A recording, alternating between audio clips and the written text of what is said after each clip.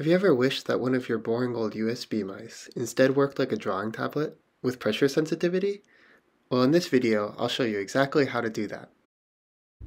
Along the way, we'll do a little bit of hardware and a little bit of software. It's just a proof of concept, but it works better than I expected. Of course, a real drawing tablet's going to work better, but it would also take up extra space, cost more, and sometimes it's annoying to have to switch back and forth between a mouse and a stylus. Basically, we'll be putting a teeny tiny computer inside the mouse.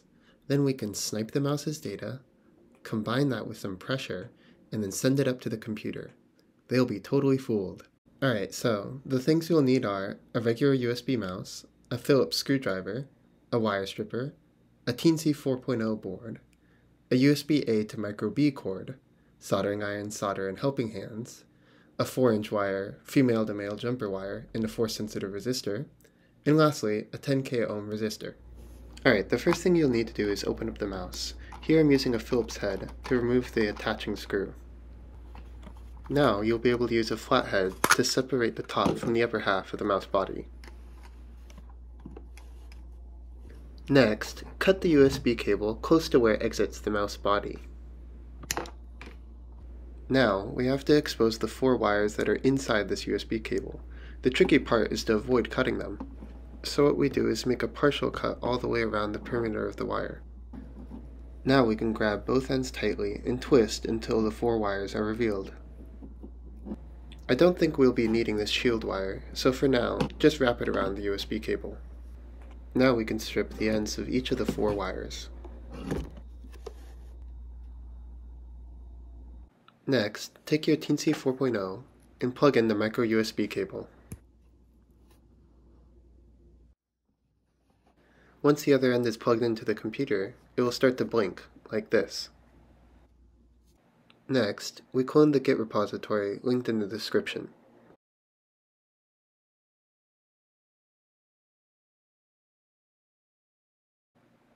Then we can apply the patches from that repository into our Teensy library installation. I recommend using Git for this as well, so you can see the changes and also undo them whenever you like. Here we can see the changes we made to the library. We'll come back to that later. In the Arduino IDE, open up the sketch file from that Git repository we cloned, and then select the Teensy 4.0 board from the dropdown. Next, set the USB type of the board to pressure mouse. Then we can compile the project and upload it to the Teensy board. Once it's done uploading, it's back to the real world. Let's start by making sure we've got the right resistor. About 10k ohms, nice. Place the resistor between pin 14 and ground on the Teensy board. Now you can solder the two legs.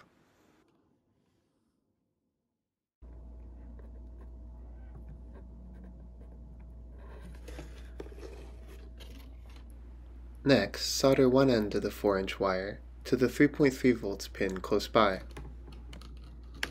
Now let's connect the mouse wires to our Teensy board. Let's start with the red wire, which is 5 volts. And now the black wire, which is ground.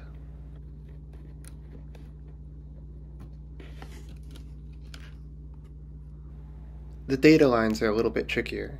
The Teensy board only exposes pads for these rather than through holes. So, we start by putting little mounds of solder on each of the pads.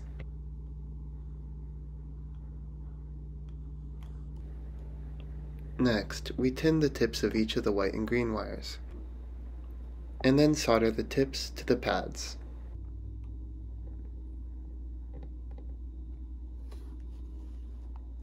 I realized there was potential for shorts because I stripped too much plastic, so I put some electrical tape just to be safe. You shouldn't have to do this though if you're careful.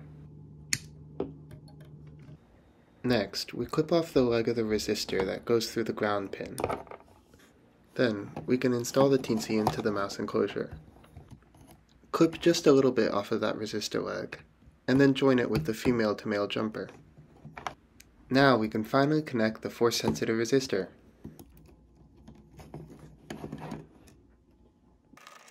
Now, try to pack everything in so that the top of the mouse can fit back on. This will probably take some trial and error. Once you're ready, put the mouse top back on, taking care to thread the FSR through the mouse wheel hole. When you're closing it, you're looking to hear some satisfying clicks. Something like that.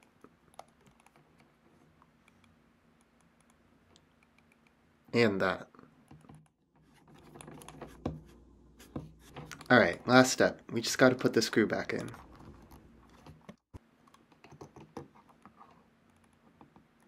And we're done. Now's a good time to give a quick overview of what the code does. Basically, the idea is to get the Teensy board to pretend that it's a drawing tablet. So, we have it running in a loop. First, it looks if there's any data coming in from the mouse. If it finds some, it make sure to do a quick reading of the force-sensitive resistor to get the pressure value.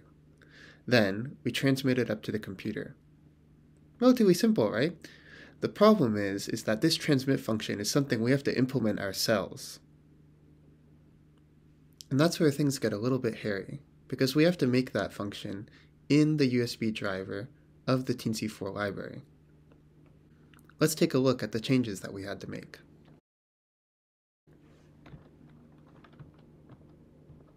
It looks bad, but a lot of this is just copy-paste from the existing driver, with a few tweaking of parameters here and there. But there's one thing worth pointing out in particular. This is the transmit function that we were talking about earlier.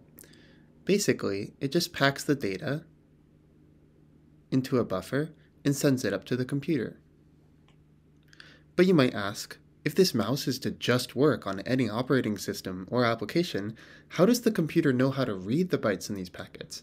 In fact, how are you able to buy any random cheapo USB device, plug it into your computer, and have it just work? Well, most of the time, at least. Do operating systems have a special driver for every single USB device that gets made? Fortunately, no, and that's the magic of the Universal Serial Bus. Basically, there's this thing called a USB report descriptor. It's a mini language that all operating systems know how to speak. Devices can use it to explain the format of the data that they send. So, here's our report descriptor, which could make the mouse act as a drawing tablet and as a regular mouse simultaneously. For example, this part right here is the x and y coordinates of the mouse movement. Well, it's a little bit cryptic, yes, with all these bytes everywhere. To really understand it, you'd have to refer to the USB specification itself. In particular, this document titled HID Usage Tables. It's a bit of a doozy, though fortunately the internet has some helpful guides and examples. But the main idea is that these bytes mean whatever is written on the right hand side. Alright, enough of that. Let's see it in action. Awesome, we're definitely getting varying width of the brushstroke, matching how much pressure I'm using on the sensor. Compare that to drawing with a regular mouse. Boo. But can we actually use it for anything cool? Well, I'm definitely not used to drawing like this, but it works better than I expected. I really just made this as a proof of concept. I hope someone sees this and tries to take this project even further. Yeah, and also, I'm recording this all in Linux. Unfortunately, it doesn't work on macOS for some reason, and I can't figure out why. I think macOS doesn't like my USB report descriptor, but anyway, if someone tests it on Windows, please let me know. Okay, that's all I got. Thanks for watching.